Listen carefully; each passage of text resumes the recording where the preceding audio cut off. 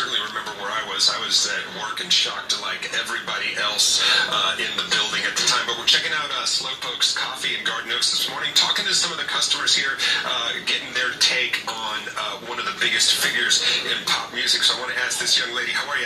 So 10 years to the day Michael Jackson pass, passes away, what do you think his legacy is today, 10 years after? Oh my God, his legacy still stands till this day. He's made such an impact on everybody's life, and you know, mine growing up, I listened to him constantly. So I remember watching my brother do talent shows and all the dance moves. Favorite song? oh my God, too many. I thoroughly is a classic. I don't know. Pick one. Pick one. I'm just going to keep you on the spot. Really? Yeah. Good album. Good album. All right, so I'm going to go around here.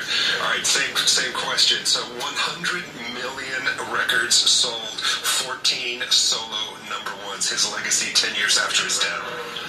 Well, I mean, once again, the, his his legacy of music is gone forever. Uh, Billie Jean was probably, without a doubt, you know, our favorite song. I think I pulled a cat muscle trying to do that break dancing move. So, yeah, it's still. You look like a dancer. Absolutely, absolutely. So, yeah, that's uh, it's been a huge impact still, and I just can't believe it's been 10 years. Do you remember where you were when you heard the news?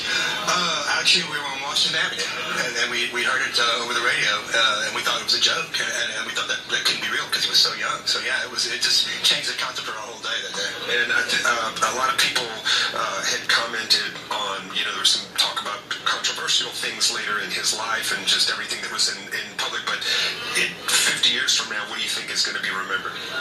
No, I think the music's going to be standing for a lot longer than just 50 years, absolutely. I think those things, those inconclusive things, just won't matter, but will still matter all the music. It's the body of work. Absolutely, All right. absolutely. Thank you for taking the time, guys. All right, so I think I think overall, folks are going to agree uh, that it's just the amazing body of work and the songs that you just can't get out of your mind that are going to stand. At least that's the vibe. That's what we get from some of the customers here, guys. Right now, uh, kicking it back to you guys in the studio.